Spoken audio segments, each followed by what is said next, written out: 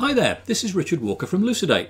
This is the first in a series of videos where we will look at developing a robo financial advisor. We'll be utilizing some of the components of the LangChain library to help us, as well as some components from Streamlit to build our user interface. All the code for this application is on GitHub. There's a link on the screen as well as the URL in the description. I'll show some interactions with this advisor in this video, but I'd encourage you to download the code from GitHub and try it out for yourself.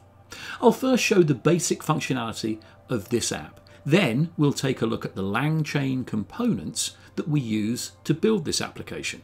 Then I'll dive into the prompt engineering bit that gives this application its capability and personality.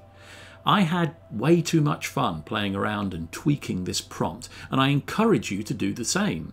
I'd like to thank the Lucidate community for sharing prompts and results of those prompts in the comments from prior videos. Please do the same for this one.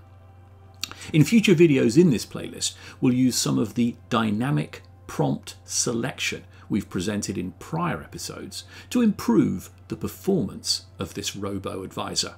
So let's give it a spin and see the app in action.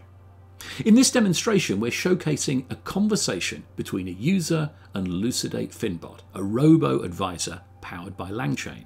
The user begins the conversation by asking about investing in Microsoft. The AI financial advisor responds by expressing that it needs to understand the user's investment goals and risk tolerance before making a recommendation. Following this, user shares that they're saving for retirement and have a very low risk tolerance. Finbot, taking this into account, suggests a conservative investment strategy, recommending large, stable companies like Microsoft or a diversified portfolio of low risk investments. When the user asks about higher risk investments like options and cryptocurrencies, Finbot advises against it due to their low risk tolerance. The AI stresses the importance of matching investments to the user's risk profile, reminding the user of the volatility and complexity associated with these types of investments. The user then presents a choice between investing in US Treasuries, Walmart, or Nvidia.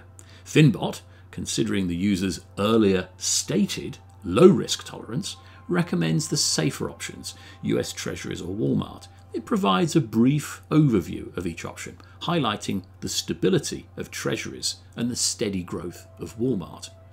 In a surprising twist, the user then states that they've now become a super aggressive risk taker. Taking this new risk profile into account, Finbot now recommends Nvidia due to its potential for higher returns despite the associated higher risk. It emphasizes the importance of research, understanding the risks, and diversifying the investment portfolio. The conversation ends with a fun but important question from the user asking Finbot to recall the first question they asked, demonstrating the AI's ability to keep track of the conversation's context. So, this engaging chat interaction offers a glimpse into how a robo advisor like Lucidate Finbot, powered by LangChain, can provide personalized, risk aligned financial advice to users. You'll also see some useful information popping up in the user interface below the chat box. This is keeping track of the tokens used in the application. Prompt engineering is great but it can increase the costs of using LLMs, as the prompt augmentation can make the input strings a good deal larger. There's also a message log below the token utilization. So that's a quick overview of the app in action.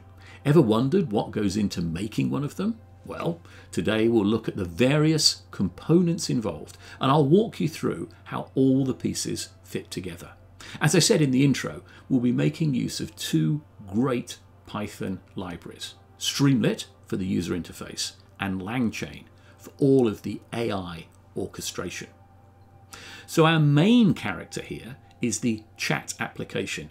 Think of this like the control center of our AI chatbot. It's the brain that coordinates everything.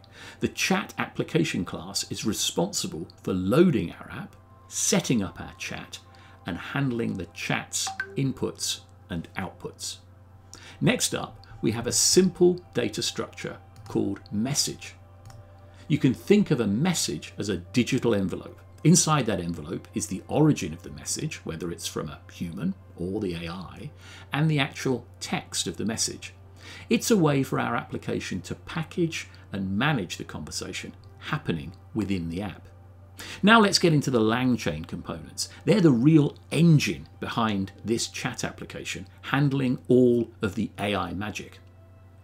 Chat OpenAI is the part that talks to the OpenAI service. It controls how the AI generates responses. You can tell it to be creative, conservative, or anything in between with its responses by changing its parameters like temperature. Then we have the conversation chain. Think of this as the chatbot's short term memory. It keeps track of the current conversation, making sure that the AI knows what's been said so far so it can make relevant responses. Conversation buffer memory works closely with conversation chain, and it's like the long term memory of the chatbot. It keeps track of everything that's been said throughout the session, storing it safely so it doesn't forget what's been talked about. Finally, chat prompt template is like the script that our AI uses when it's chatting. It provides a framework for the AI to structure its conversation.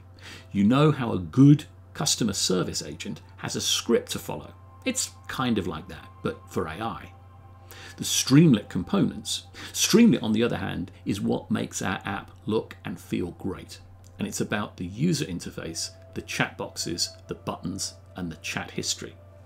The chat application uses Streamlit to set up the chat interface. It creates a chat container for our conversation, a form that users input their message, and even a log placeholder that keeps track of how many tokens we've used, essentially how much we've made the AI talk. And how do all these pieces fit together? Well, when you send a message in the chat, chat application passes it to the conversation chain and conversation buffer memory. The AI then generates a response based on this conversation history and the guidelines set out in the chat prompt template. This response is then sent back to the chat via Streamlit, and this whole process repeats until the conversation ends. Let's quickly take a look at this prompt. As I said earlier, for those who want to download this app and try it out, this is an easy area for customization and experiment. I've played around with lots of different prompts. Some ideas for refinement are prompts that insist that the AI's reply ends with a question that's related to the chat history. I find that this really provides a conversational tone and is very reminiscent of a real world conversation with financial advisors. But please play around with the prompt. So there you have it, a quick rundown of how a LangChain and Streamlit powered chat application works. It's a wonderful blend of artificial intelligence, data handling and user interface design that comes together to create an interactive AI chat experience. I want to give a big shout out to fellow YouTuber Fanilo Andrianasolo. If you haven't checked out his channel, then you should. What are you doing still wasting time on Lucidate? He's the genius that provided all of the cascading style sheets that creates this chat interface. It would have taken me a week longer to get this video out if it weren't for him. There's a link in the description to his video on this topic, and I'll pop a card in at the end of the video. Thanks, Fanilio.